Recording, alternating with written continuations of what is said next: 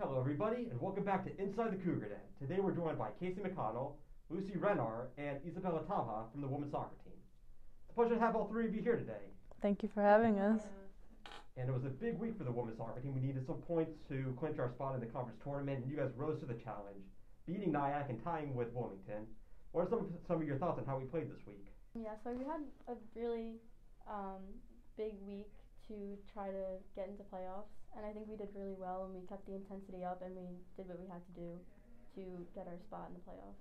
Yeah, I agree. We definitely needed um, these outcomes this week, and it's definitely a big step from where we are mid-season compared to now. We're definitely rising to the challenges and to the expectations that are put out for us. Yeah, I agree. We I think we we made we made a very good games, uh, two games, this week, and we're making playoffs, so we're happy about it. We have half of our defensive line here in Lucy and Isabella, and in that double overtime game, overtime it's golden goal. One goal ends the game, potentially ends our season. What did we do defensively to keep them off the scoreboard in that extra time? Well, as a center back or a defender, you have to be really con- like you have to have a lot of concentration and keep going. Like just keep going. You can't stop. You can't stop. It's just defend, defend, and defend. Uh, really like communicate with your teammates. You have to be very organized. It's just that like keep playing.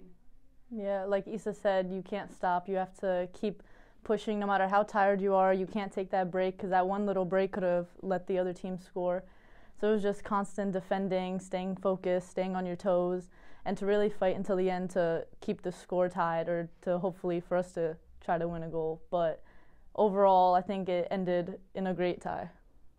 And Kasey, looking at our offense, all you know, these last two games, we keep, kept having to fight back. We kept rising up to the challenge. We were trailing against Nyack, trailing against Wilmington. We responded a goal like 30 seconds after their third goal. What did you see from our offense this week?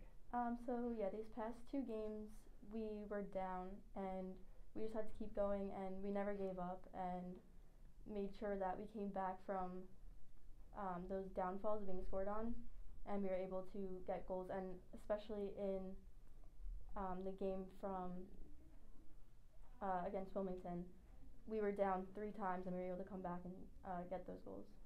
And we're going into the conference tournament with some momentum. We're 2 0 1 in our last three games. What is the overall mentality with the team right now? Uh, basically, we're playing every game like it's our last. That was our mentality for the past two games, and now it really is. So we just have to make sure each game we're putting everything we have out on the field, leaving it all out there because now it's when it comes down to it, it really will be the last game of the season. Yeah, it's like every day, every game is like the final game, so we have to give our best every time, like 100%. And before we start the conference tournament, we have a non-conference game at Pace this week. What are you guys hoping to do as we get ready for the conference tournament? Yeah, so we play Pace on Thursday, uh, November 4th. So um, I think what we're hoping to do when we go into Pace, maybe to try new things that we can do during the playoffs and hopefully to keep the momentum going, try to get another win. Yeah, I think so either. Like, I think this game can help us prepare for playoffs too. And as Lucy said, like, keep the momentum going. We hope for a win too. So I think it's going to be a great game. Yeah, Pace is a very good team, so it's good that we're, we'll have um, high competition going into the playoffs.